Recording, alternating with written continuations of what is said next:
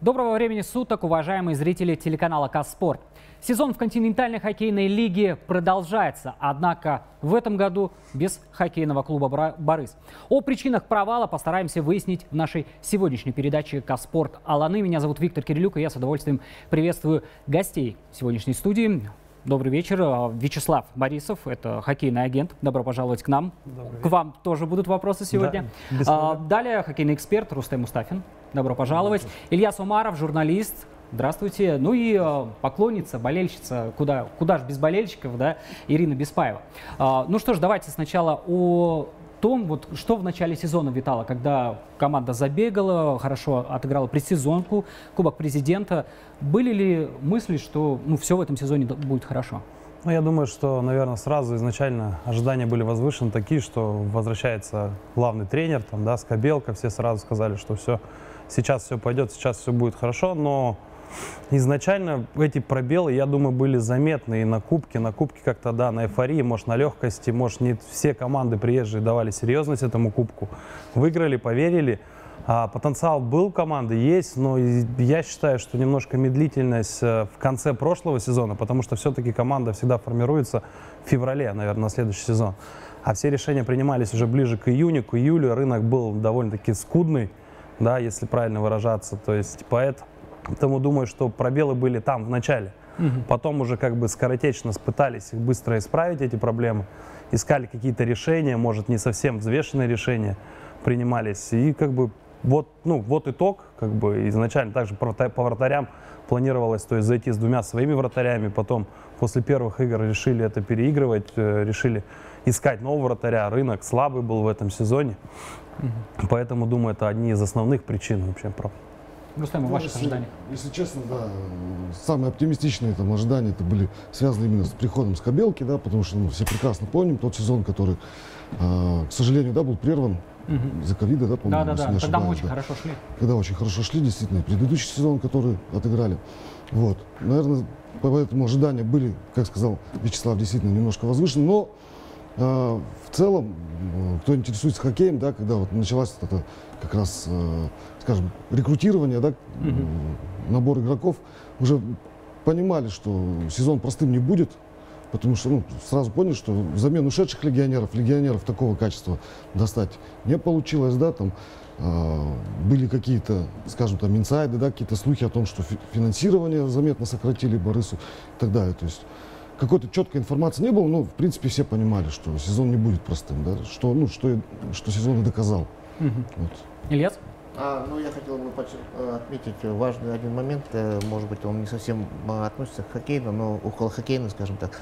А, геополитическая ситуация, знаете, где-то в глубине души э, внушала какой-то оптимизм, потому что, ну, в хорошем смысле слова, то есть подумалось, что многие ведущие легионеры с Европы, которые в один момент Э, собрали вещи и улетели буквально в разгар э, сезона. Тот же Ортио, который уехал, mm-hmm. к сожалению, от нас. Э, мне пока думалось, что и игроков будет поменьше, я думаю, выбора будет поменьше, и я уже подумал, ну, все-таки, наверное, на этом фоне все-таки в Казахстан игроки ехали более, скажем так, охотно. Мне показалось, что в этом плане мы где-то выиграем даже. Ну и, конечно, внушало оптимизм такой внешний. Игра на кубке, неплохо сыграли, показали даже держи характер. Но опять-таки, конечно, это все выставочные, можно сказать, матчи. Э, приход тренера, совершенно верно коллеги сказали, очень такой обнадеживающий был. А, вот. Но вот э, какая-то трансферная или как-то селекционная работа, она была, во-первых, не совсем открытая. Во-вторых, она действительно, говорит, как коллеги сказали, она затянулась.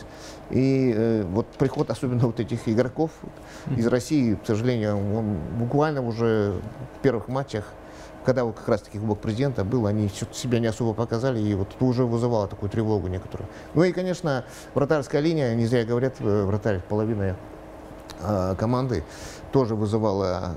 В то же время, конечно, ну, в памяти были матчи и того же Бояркина, и тоже Шутова на чемпионате мира. Все-таки хотелось верить, что все-таки они потянут. С другой стороны, думали, ну, клин вышибает клином, может быть, все-таки э, вратарская линия будет наша, и тем самым будем пропускать, ну, наши будут вратари пропускать, и все от матча к матчу будут э, подниматься. Ну, видимо, тренерский штаб решил по-другому немножко, и видите, по- полезли на рынок, а там оказалось нет. Ну и вот более-менее и вратарь был такой приличный по уровню. Это Гудачик, который уже, честно говоря, уже, к сожалению, отыграл все свое лучшее. Это все признают. Но надо отдать должное, в этом сезоне он, конечно, очень хорошо где-то помог, где-то потащил часто. Про это, к сожалению, незаслуженно, к сожалению, незаслуженно об этом не говорят, а говорят о всех его там шоу. Отлично. когда он ну, чудил, да. а, Болельщики, наверное, по-другому да, относятся. Вы все время на трибунах. Э, Какие ожидания от сезона были? Нет, не то, что по-другому. У нас как бы совпадает мнение. Все были в восторге, что вернулся Скобелка. Воспряли духом, то, что, как бы сказать, все помнили тот предыдущий результат. Надеялись, что так и будет. Но потом действительно у нас Борис очень поздно всегда подписывает игроков, как-то все это затягивается, все тайно, покрыто мра- мраком. Все в недоумении, все ждут, все просят, ответьте нам что-нибудь.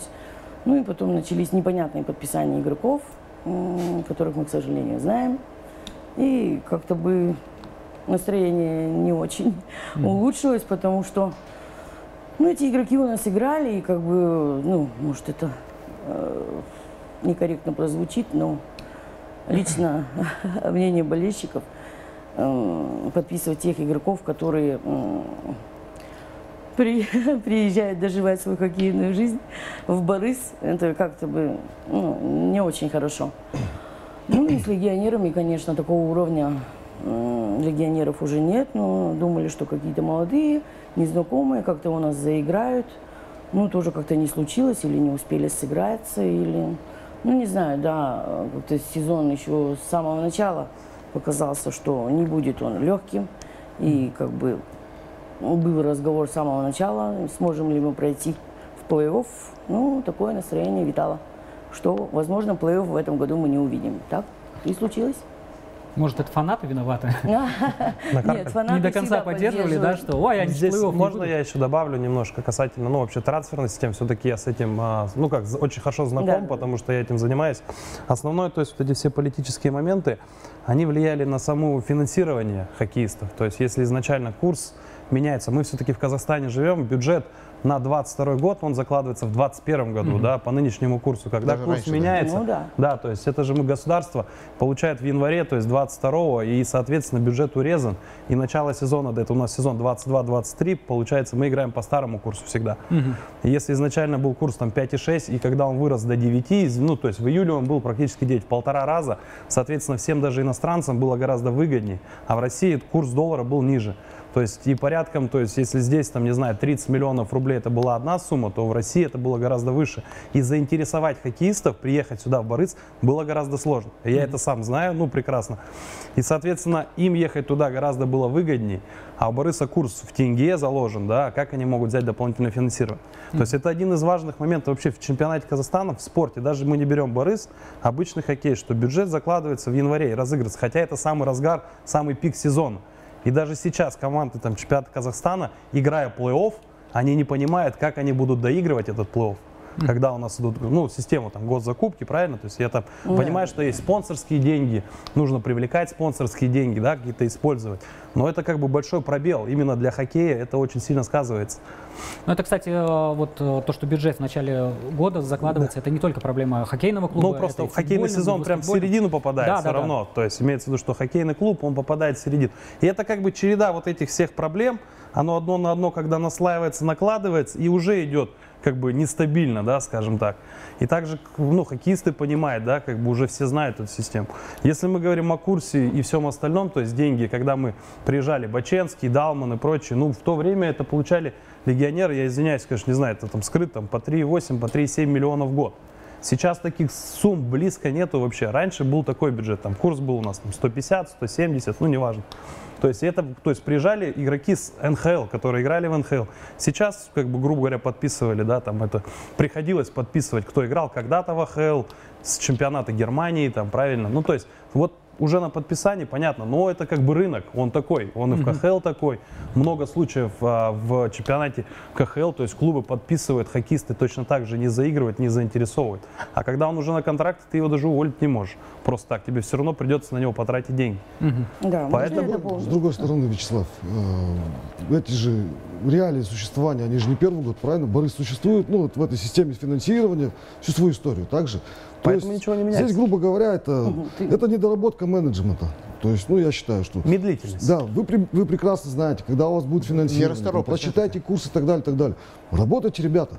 Это должно быть вот в феврале. То есть февраль начинается, у хоккеистов заканчивается контракт. Остался март-апрель. У всех хоккеистов, неважно, в КХЛ, Ну в да. НХЛ играют. Но в НХЛ чуть позже, они играют подольше. То есть работа по следующему сезону, переподписания должны быть уже сейчас. Когда ты понимаешь, что у тебя хоккеиста заканчивается контракт. Ну, То есть ну, и здесь все. Но если еще, скажем так, у Бориса не подписан бюджет и не сформирован, то есть когда нужно вот сейчас вести активную работу, он может еще даже не понимает, какие цифры у них есть. Ну, это мое личное видение. Я не знаю, конечно, насколько сейчас там по-другому, да. Ну, как бы, насколько я знаю, это везде, в принципе, плюс-минус так же. То есть, когда ты не понимаешь, с какими цифрами ты работаешь, куда ты вообще целишься в новый сезон, да, на каких легионеров и сколько у тебя есть денег бюджет. Это очень важный момент. Потому что все-таки у Бориса и логистика немножко другая, перелеты немножко другие, нежели чемпионат, то есть КХЛ команда играет. Расходы совсем другие. Ну, логистика у нас, скажем так, явно поудобнее, чем у того же Хабаровска, да? Ну, там, Хабаровск. Дальний Восток, конечно, мы не берем. Ну, как бы, в целом. Но, опять-таки, по сравнению, конечно, давайте, вот тот же Линдон Вей говорил, что в этом году 68 матчей регулярки, это не бывало, да. Я все время спрашивал у тренеров и игроков, которые играли в НХЛ э, и с КХЛ, сравнивая, постоянно мой любимый вопрос, а считаете ли вы, что 62 матча в КХЛ это равны с учетом перелетов, разница во времени? 82 в Э, НХЛ. 82 в НХЛ. А многие говорят, да, да, это так есть. А тут 68. Макс Толбо, э, который после Питтсбурга, там еще где-то поиграв, приехал э, играть за Локомотив, он говорит, для меня э, ХХЛ это, говорит, возможность открыть новый мир. Я говорю, в смысле? Он И говорит, отдохнуть, «Ну, да, возможно. да, я, говорит, э, 10 часов летел из Ярославля на первый матч в Шанхае. Я говорю, 10, ну, представьте, 10 часов, так он, это же Ну, человек должен пойти размяться, еще играть. Вот таких перелетов. Их, Да-да-да. их- их два в году, правильно, насколько я знаю? да, Но там? смотрите, вот эти спаренные Ну да, да, согласен, Ну да. даже календарь, я разговариваю. Нет, тогда меня- же еще был э, Шанхай, э, и тогда был еще Хабаровск. В Шанхае это было. Да, да, Ну, Шанхай, это ну, тогда был У У Шанхай. меня вот, э, то есть был личный опыт, да, игр там в Хабаровске, то есть тогда Владивостока еще не было, не в КХЛ, то есть перелет очень сильно сказывается. А когда Борис получает календарь там 17 игр за месяц, с учетом перелетов на Дальний Восток, а, играет там 4 игры, потом возвращается и через день играть дома, ну там это очень сильно часовой поезд, имеется в виду, что в совокупе было много, и как это а, можно сказать, что всегда как слабый, да, ищет причины. Ну да, Там, вот то есть именно. всегда. Тут можно минусов, плюсов найти как бы километр. Ну, как бы это все факты. Они как бы никуда не уходят. Понятно, что должны были сыграть лучше. А, можно я Ну, скажу? э, вернуться к тому, что 68 игр, э, наверное, КХЛ после этого сезона, после всех обращений, ну, ни один же обращается с, э, Да, да. с такой проблемой. У всех существует Дальний Восток, тот же э, самый летать. Ну, и тем клубам тяжело, Конечно, естественно. все одинаково. Наверное, КХЛ приведет как-то в порядок это дело. Это же замечательно. Чем больше игр, тем лучше. Естественно. Они играют для болельщиков. А, Бедные НХЛовцы, мне прям, знаете, у меня слеза сейчас навернулась. Как это они там играют 82 матча, да, и потом вот Да, эти да. вот свои там зубодробительные серии плей-офф. Это такие же люди, они также сделаны из костей и мяса. Ирина, Просто, может быть, отношение какое-то другое. А, я хотела добавить по, ну, вот, по поводу бюджетирования. Ну да, с бюджетированием, если не все понятно, но это не значит, что нужно подписывать м, непонятно каких игроков. И вообще я считаю, что нужно тоже у нас делать ограничения этих легионеров, а не так, чтобы полкоманды у нас было легионеров. Они нам нужны для чего? Для того, чтобы, как бы э, сказать, научить наших ребят э, играть. Они должны быть достойны. Примером. Должны, да, примером. Для а не так, чтобы они, наши ребята сидели, они занимали их место и показывали точно такую же игру, когда наши могут показать даже лучше. А, потому что 15 сезонов прошло, и по большому счету особо ничего не изменилось. Мы из года в год, из года в год ждем, ждем, надеемся. Мы всегда его поддерживаем, ходим. Это Казахстан новый, все там, радуемся, все. Ну, в итоге, как говорится, возле ныне там, ну, ничего менять клуб как бы не собирается, непонятно по какому поводу это получается. Мы уже, болельщики, сколько раз это обсуждаем в своих группах, э, общаемся э, в реальной жизни. Все-таки больше игроков должны наши, казахстанские быть. Потому что это, потому что у нас есть сборная, которая тоже барахтается из А-группы в Б-группу. А и... Скажите, вы хотите, чтобы Борис побеждал или вы Вот. хотите вот... Я да, хочу, это важный чтобы- вопрос, Да, который вот. нужно Вы- вот вы при хотите, обсуждении. вы хотите Потому что последнее место мы можем и со своими Я игроками хочу, спокойно чтобы занять. мы вырастили своих Можно я приведу- Даже если мы не будем попадать Два в игрок, примера. но это будут наши Вот, хоккеисты. я Ну, щас тогда приведу- навряд ли вы будут А. ходить, вы будете ходить, а Я можно два, два примера Да, приведу давайте. просто. Вот, допустим, давайте вернемся к вратарской линии. Говорили про Бояркина. Да. Прошлый сезон он не играл, говорили, нужно свое, дать ему время. Его, ему дали время. Чтобы ему расти, нужно ошибаться. Ну, как бы, без ошибок не бывает. Он начал ошибаться, те же самые болельщики начали хаять Бояркина. То есть винить его во всех провалах. Это так, полмомента. Ну, Второй момент, такие если конечно. посмотреть более глобально, масштабно, то есть, да, должна быть четкая задача. В начале сезона результата не ждите, мы играем казахстанскими игроками, и все. В этом сезоне я просто посчитал ради интереса прямо перед этим. То есть 16 игроков сборной играло. Из них отнимите 3, 4, там я не считаю, Шевченко, Шалапов, Петухов, если который считает не наш. Наш казахстанцев играл 13. Это на самом деле рекорд. Да. Там, то есть наши ребята, и они хорошо сыграли. Тот же Сагадеев, Савицкий, то есть Рахманов ярко сыграл в конце сезона, да? Борисевич приехал, подключился. Михайлис, пускай где-то в начале, но все равно он показывает свой уровень. Имеется в виду, что определенный результат и, а, скажем так, прогресс в этом направлении, в этом вопросе есть. Но когда э, приходят дети и болельщики, а, я вам скажу так, да, вот что там детские турниры, к примеру, проходят, и приходят у нас наши казахстанские игроки, и приходит там Даррен Диск, к примеру.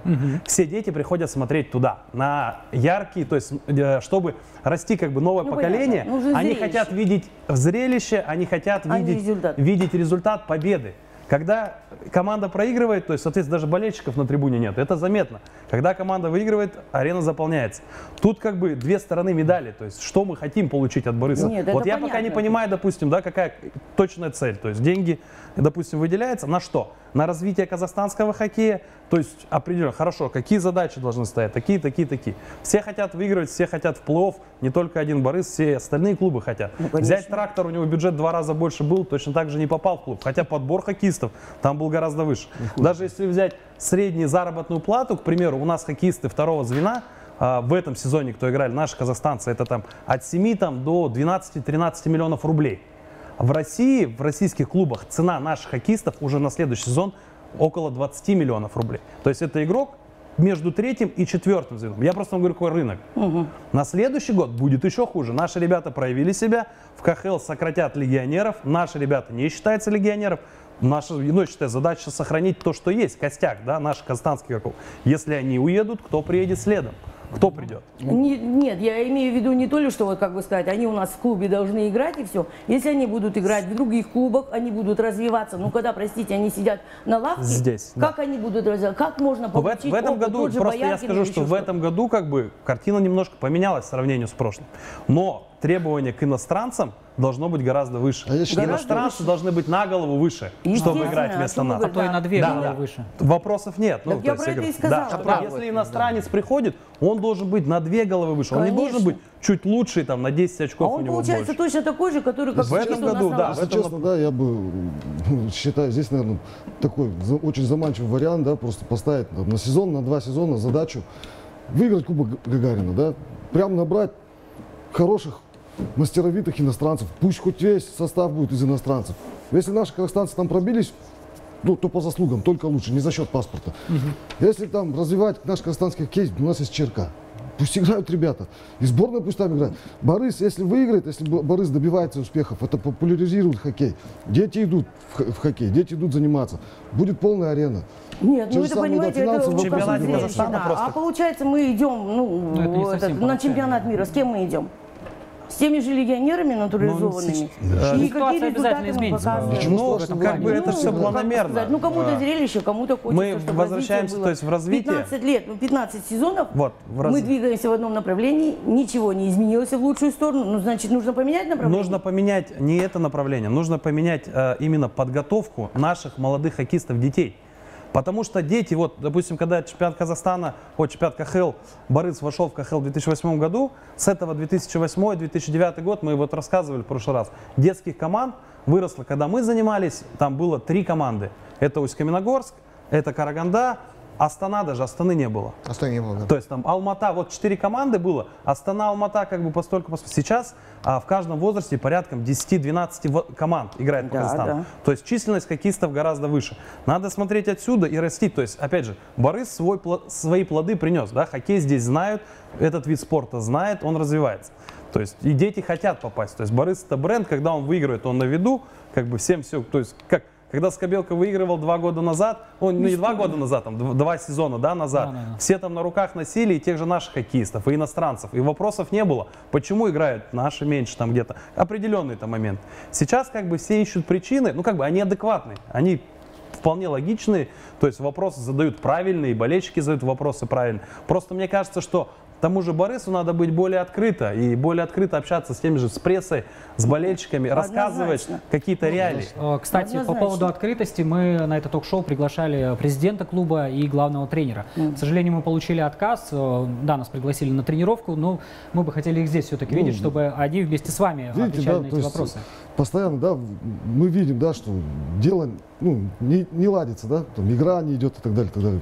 Естественно, у всех возникает вопрос, почему? Ну, А есть какие-то объективные получают, причины. вопросы копятся, Обратной и они, связи- наверное, ну, вот, Обратной Обратной связи связи нет, нет да, вот последнее интервью господина Иванищева, да, там я прочитал, ну, это- он сам понял вообще, что он сказал, Действительно. когда он пытался объяснить причины. Господин Скобелка постоянно просто какие-то дежурные фразы, работаем дальше, там сложные соперники и так далее. Ребята бились, старались. Замечательно, но это просто, это, знаете, это Отлично. пословица. А, Давайте Поэтому перейдем к более бы, да. приятной теме. Молодые игроки в этом а, сезоне в Борисе, наши казахстанцы. А, Ну, понятно, есть Адиль Бекетаев, который, по сути, дебютный сезон провел. Да, он Да. дебютировал в КХЛ, но это был плей-офф у него. Сейчас он полноценный в регулярке сезон провел. Большой молодец парень, самый результативный среди защитников. Да, да, да. Кто еще из наших парней Ну, порадовал в этом сезоне? Ансар. Э, В этом году, как бы, ну, мое да, мнение, то есть вот Бекетаев, опять же, всегда говорили, почему он не попадает. Планомерная подготовка, то есть через намат, а, в Борис, пожалуйста, зашел, попал, ну, то есть он понравился. В этом году как бы ярко сыграли из казахстанских Шахмеденов, то есть он был, скажем так, пускай не все матчи сыграл, но как бы он играл достаточно неплохо. Да, он, пускай не набрал там какое-то количество очков большое, но ему нужно время, опять же, адаптироваться к АХЛ, когда он будет уже более спокоен. Э, Кто у нас? Наши ребята, там, Сагадеев, Савицкий, Петухов, ну, как бы, я не знаю, насколько я могу говорить, то есть, ну, я считаю, казахстанцы, как бы, все-таки с казахстанскими... Не, ну Петухова по-любому все любят. Да, я думаю, что вопросов нет, то есть, насколько они проявили себя. Это рекордные сезоны для них, для всех. Ну да, Если брать Петухов расцвел, он по очкам, 4 да, да, там. Петухов, Шестаков, Савицкий, Сагадеев, Рахманов вернулся, да, хорошо. А, то есть они все набирают очки, они все играют. Бекетаев, то есть яркий пример, да, как бы, ну, картина какая-то, просветы есть, но, опять же, как будет дальше? То есть- Ильяс, вас? Ну да, действительно, Адиль очень сильно, очень сильно приятно, очень сильно удивил. Конечно, фактически это полноценный сезон, фактически сразу почти все матчи провел. И не случайно такой показатель. Да, он ошибался, но как без этого, как защитник без ошибок. Тем более молодой защитник, я думаю, конечно, он немножко был расстроен, когда, вот помню, мы у него часто брали интервью. Э, Я говорю, ну, он говорит, я стараюсь работать над броском. В принципе, у него неплохо стало это получаться. И, конечно, добротного, ну, не Кевина Далмана пока и не Бица мы нашли, но, по крайней мере, уже игрока основы не только Бориса, но и в сборной мы приобрели. Я думаю, это здорово. Борисевич, конечно, здорово себя проявил. А, Я спросил у Скобелки, вот если бы не Кубок Первого канала, вы... бы-» он говорит, нет, мы пять лет Он, назад. он сказал, да, 5 лет назад. Да, пять лет назад мы за него. А Кайжан тоже не надо списывать со счетов, потому что действительно время от времени он себя очень... Просто весь вопрос в том, что много очень было на различных обсуждений на сайтах, на форумах. А, вот именно вот эти ребята, про которых вы сейчас сказали, да, тот же Рахманов, который восставший из пепла пришел, помните, такая жуткая травма была, помните, с матча с итальянцем на чемпионате мира последнем. А, м, приятно, что он а, заиграл, А, вот, э, приятно, что в конце хоть э, Скобелка в течение сезона, по-моему, тусовал всех со всеми. Приятно, хоть в конце концов он нашел это сочетание э, Антона, да. Никиты и э, Михаила. Ну, хоть, э, по крайней мере, это нашла какую-то химию и э, поедет на чемпионат мира. Ну, вот, А вот э, вопрос меня, Вячеслав, да, можно, да? Вот скажите, вот у нас там пара там невнятных россиян, да, вообще, абсолютно невнятных. Там, Большинство, там да, у нас? э, Как- прошу прощения, не пара, там их больше, по-моему. Как фа- фа- фамилию-то? Нападай, Да, вот тоже вопрос. С такой зарплатой, вот, Вячеслав, скажите, а у нас здесь в Казахстане на рынке наших казахстанцев такого уровня нет? Вот я этом и А. Мне кажется, ну, там Ну, можно, зарплату есть мне кажется, там можно пучок просто взять вот так вот. Да, вопросов, наших казахстанцев. вопросов, да, конечно, достаточно, то есть должен играть лучше. А Как бы для меня непонятно, я как бы, ну, не могу сказать. Он э, вроде на кубке, когда я приходил, там открытые тренировки были, он на самом деле выглядел неплохо, ну, как бы интересно.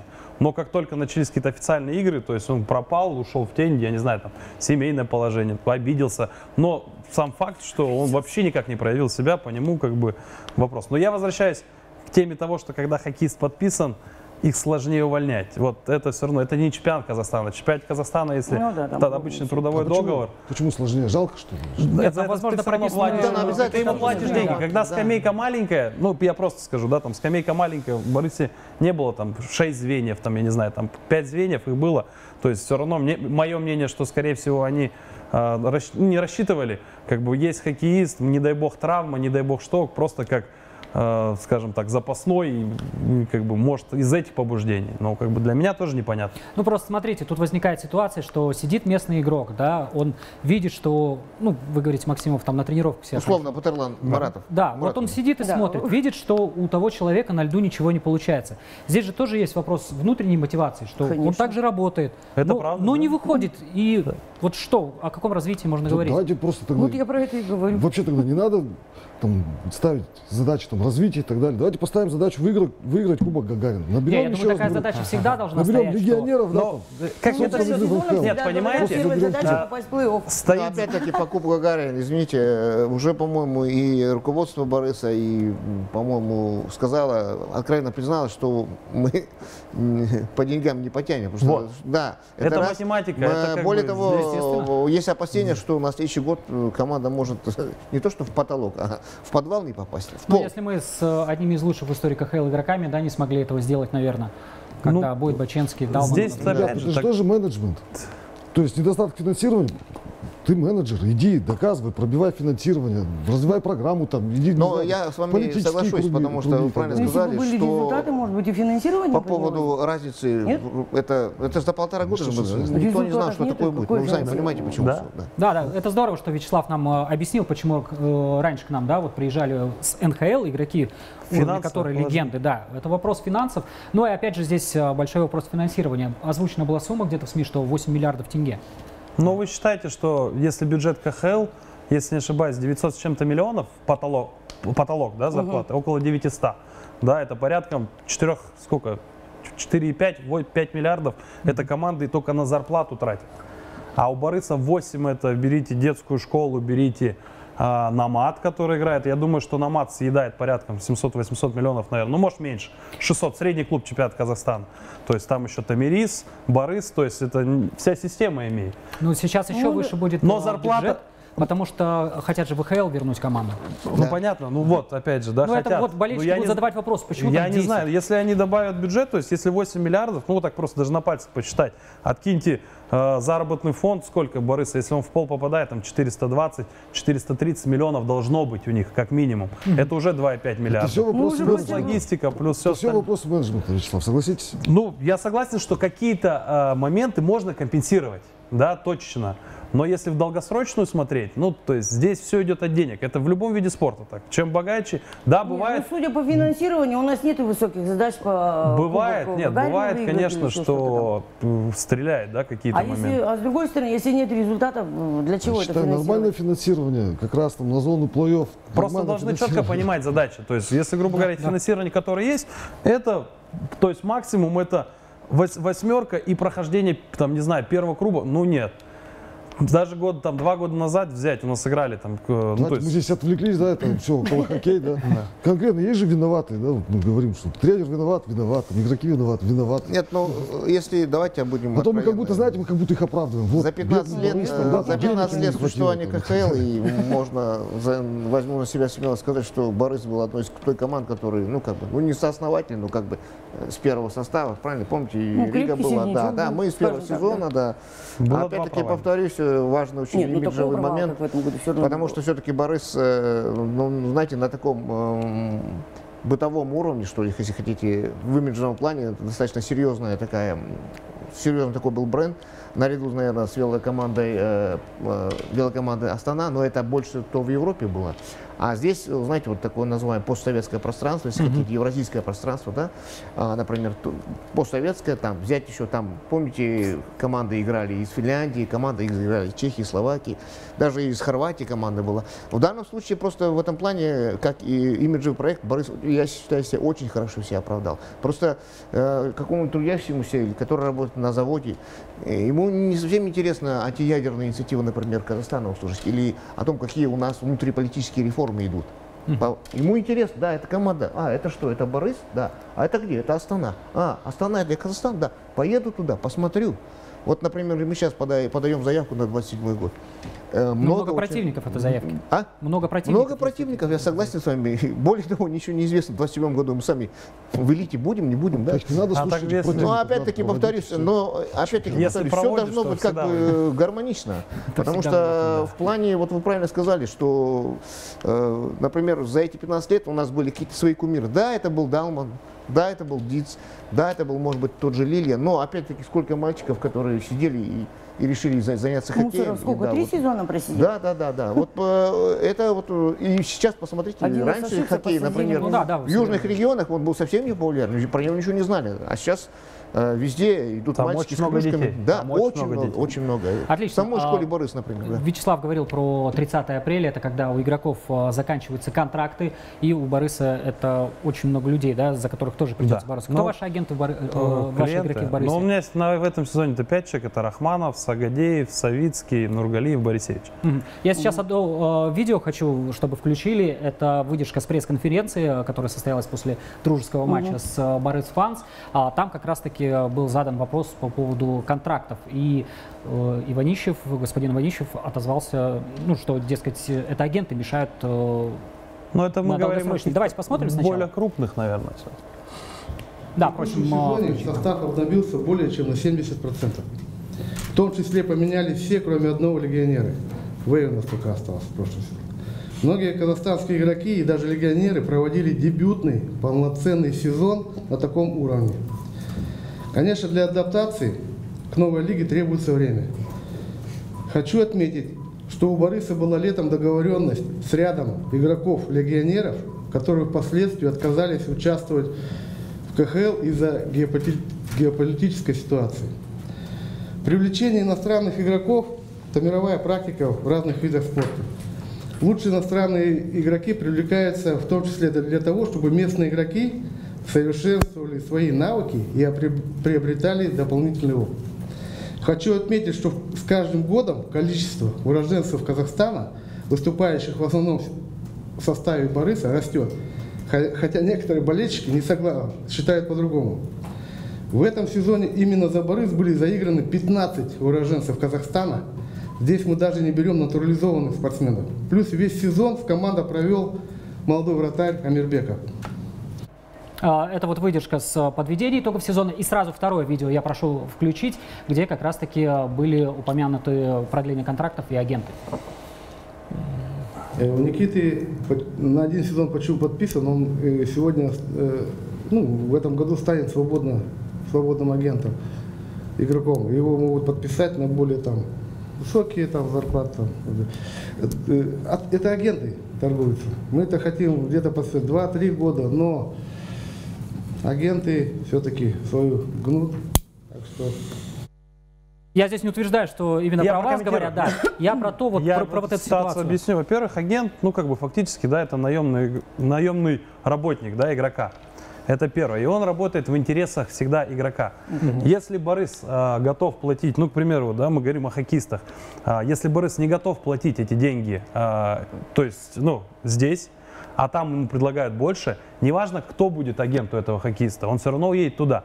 Любому из вас, там, не знаю, любому работнику в Казахстане, если дадут а, в другом месте там, в 2-3 раза зарплату больше, он соберется и поедет. Это нормальная практика. Но агентские тоже же подрастают. Агентские тоже подрастают. Агентский, да. Но вопрос в другом. То есть это как бы нормальная практика. Что, что касается двухгодичных, трехгодичных контрактов, вот эту практику нужно вводить. Здесь не всегда агент. То есть иногда у руководства нет веры в этого хоккеиста. Ну, то есть он хочет, он сыграл один сезон хорошо, второй сезон про- плохо, скажем так, да, не провально. Следующий играет опять хорошо. Нет какой-то определенной стабильности. Руководство тоже боится. Я прекрасно общался на эту тему. Они говорят, ну вот он прошлый сыграл хорошо, а позапрошлый он сыграл слабо. Где факт того, что он два года будет играть стабильно? Кстати, долгосрочные контракты, они же дешевле. Вот, нет, на самом деле разницы нет, просто как договоришься, да, как в хоккеистах. Но если хотите, ну, то есть, если стоит задача строить а, фундамент, да, то есть клуб, который будет на протяжении там двух-трех лет стабильно играть, то есть за год там костяк какой-то определенный, как в НХЛ собирается, там на 7-8 лет подписываются контракты, начиная от тренера, да, есть какой-то план, скажем так, на три года, что мы там к 26 году у нас будет такой боевой состав, когда мы можем побороться за кубок. Конечно. Тогда, но это нужно закладывать заранее. Никогда в феврале у него кончается контракт, и у него есть предложение гораздо серьезнее, сейчас будет очень, я говорю, тяжело общаться с хоккеистами. Все хоккеисты сыграли хорошо сейчас, наши местные, да, ребят. У них будут предложения такие, что Борис чисто финансово не потянет. их. А вот теперь вопрос. Это клуб инициатор вот этих однолетних соглашений? Здесь, э, я думаю, что в совокупе, в каких-то ситуациях клуб, каких-то хоккеист. То есть хоккеист понимает, что если у него год заканчивается, то есть по возрасту он подходит, и у него на следующий год будет неограниченным свободным агентом, это одна ситуация. Если хоккеист ограниченный свободный агент, он не может просто перейти в другой клуб. Другой клуб должен, обязан выплатить компенсацию, Борис. Соответственно, даже пускай у него цена на рынке будет выше, но готов ли второй клуб заплатить за него, это уже совсем другая. Господа, вот у нас лучшая хоккейная лига мира это все-таки НХЛ, правильно? В НХЛ там вот такие однолетние контракты, это вообще это редкость. Редкость, да? Это большая редкость. Все контракты многолетние, да, там, сами видим, да, там прекрасно, там, 5 лет, там, ну, от 3 лет начинает дальше, да, там, 9-летние соглашения, 11-летние соглашения. Оно, если, если посмотреть, это, это выгодно, да, и игроку, и клубу. Э, То есть, видите, о чем здесь говорится? У нас у Бориса нет какой-то четкой политики. Что они хотят, они сами не видят. Поэтому заключаются вот такие контракты на один год. И в итоге там ни у игрока нет да, какой-то уверенности, стабильности. Клуб там не знает, как он дальше будет, каким он составом будет на следующий сезон. То есть, ребята, вы определитесь. Поэтому Конкретную Здесь вернуться к постройте. финансированию. У нас годичное финансирование. Вы можете подписать состав там на 600 миллионов, потому что на 2023 год вам дали 600 миллионов. Опять же, ты дашь хоккеисту там в одном сезоне 20 миллионов, ты же ему в следующем не дашь 10, ты ему дашь 22, 23, 25, как договоришься. А бюджет тебе если, 600 у тебя, пришел. а если тебе бюджет урежут на следующий год, уберут просто. Государство скажет, тебе придется как руководителю, как клубу, как организации, да, там юридической, выплачивать все эти компенсации, понимаете? То есть здесь тоже, опять же, Это возвращаясь к началу менеджмент. разговора. Это все менеджмент. То есть просто это, это как делается? Запастись, да, политическая поддержка наверху, сказать, вот вы Борис в течение пяти лет не закроете, пообещайте. Да, обещаем, Борис не Трехгодичный закроем. договор, Всё, и такой пошли. можно, то есть, да. Денег, вот этот, вот этот бюджет, он, он же примерно же такой же и будет, Вера правильно? тоже в человека. Трехгодичный, допустим, если был у Бориса там финансирование трехгодичное, да, он да. бы четко понимал, первый год вот столько быть, потратить, нужно что-то с этим второй делать? больше трех. Но это уже вопрос клуба- должно решаться. Это вопрос государственного Точно не на нашем регулирования, я уровне, думаю, да. это не Борис. Программа и- Борис Нет, мы здесь ни на 2030 что не повлияем. разработать надо. Ну, да. Ну, опять-таки, э, мне кажется, это, к сожалению, э, это не только Борисом, это и вообще, по-моему, вся лига, да? Это- Там нет да, да, да. долгосрочных контактов. Посмотрите, помните, клубы были, выходили из лиги из-за отсутствия финансирования и так далее.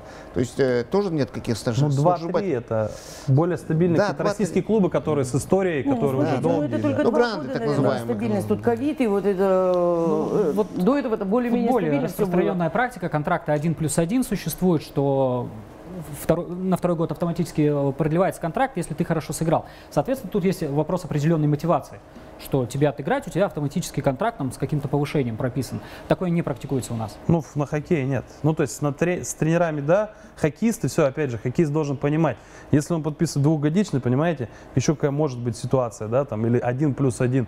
У него контракт кончается, вот даже для хоккеиста в конце сезона, мы говорим, там, чемпионат мира, ему нужно ехать. Если у хоккеиста нет контракта, он может не ехать на чемпионат мира. Ну, в смысле, не может. Ему завтра работать, он травму получит, у него нет никакой гарантии того, что, то есть у него семья, у него дети, нужно кормить, зарабатывать. Он без контракта поехал, травму получил, клуб завтра скажет, слушай, мы не знаем, в каком ты состоянии приедешь. Давай-ка ты приезжай, лечись, а потом мы посмотрим. То есть здесь мы смотреть и со стороны клуба, понятна политика, то есть, ну, для меня, да, там, и со стороны хоккеиста, то есть все живые люди, все работают как бы за деньги, да, Ну, конечно, кто бесплатно не работает. В итоге кто виноват-то? Виноват это, ничего Виноваты здесь не пришли, да, А там э, совокупность вот факторов, мы сегодня их много обсудили э, на самом деле. То есть можно подписать, да, хорошо, готов клуб на себя, то есть это менеджер должен взять ответственность. Я подпишу его на три года, он будет играть. Завтра он не заиграл, это ответственность менеджера, правильно, что он подписал. То есть здесь вопрос такой качели. Ну да. Вопрос менеджмента. Ну что же, констатируем факт. Сезон, безусловно, провальный, безусловно, худший в истории Бориса в выступлениях в континентальной хоккейной лиге. Но все-таки мы всегда живем с верой, что дальше будет обязательно лучше. У нас тем более впереди чемпионат мира. Задача, понятно, вполне себе. Остаться, Остаться, в элитном дивизионе. А, У нас это два сезона уже получается, поэтому, я думаю, и в этом году не будет больших проблем. Жаль, что ребята остались э, без игровой практики в КХЛ, да, можно было еще э, немного совсем поиграть, но все же таковы реалии сегодняшнего дня. Мы благодарим наших телезрителей, мы благодарим наших гостей за эту содержательную беседу. Да, возможно, мы не выяснили, кто виноват, но многие, э, каждый для себя найдет Смотрите виновного дальше, следующей и, да, и невиновного. такой результат у сезона, да. Но достигнуто, теперь надо отталкиваться. Ну что же, это было Ну да. ток-шоу «Каспорт Аланы», и сегодня мы говорили о провальном сезоне э, хоккейного клуба «Борис» в континентальной хоккейной лиге. Увидимся.